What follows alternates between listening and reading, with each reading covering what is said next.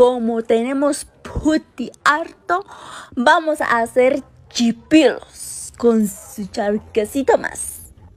Primero recibimos agua en el bañador. Ahora a pelar los putis. Al pelar se vuelve pues la mano como chicle se vuelve y pues con un poquito de aceite nos lavamos. Luego con jaboncito, manos limpias. Ahora sí, rayamos. Vamos a agarrar una olla, prendemos fuego, secamos la olla, colocamos aceitito. Nos fijamos si ya está caliente el aceite, acercamos la mano encimita clarito, se siente calientito la mano.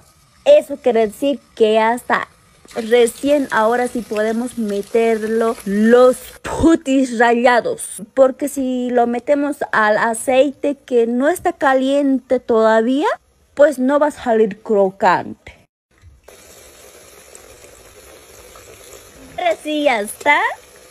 Y así facilito se hacen chipilos o chips de plátano. Lo sacamos en el plato. Por último vamos a tostar chichis seco. No los chichis que estás pensando.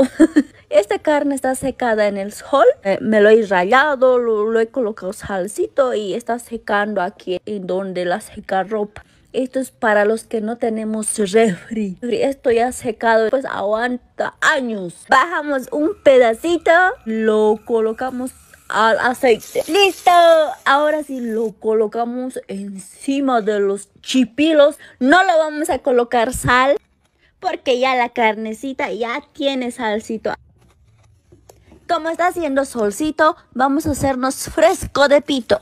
Colocamos azuquita, unas cucharas de pito de cebada, agüita, lo movemos.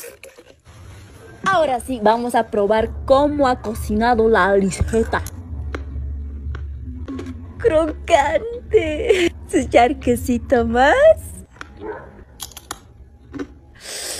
Qué rico.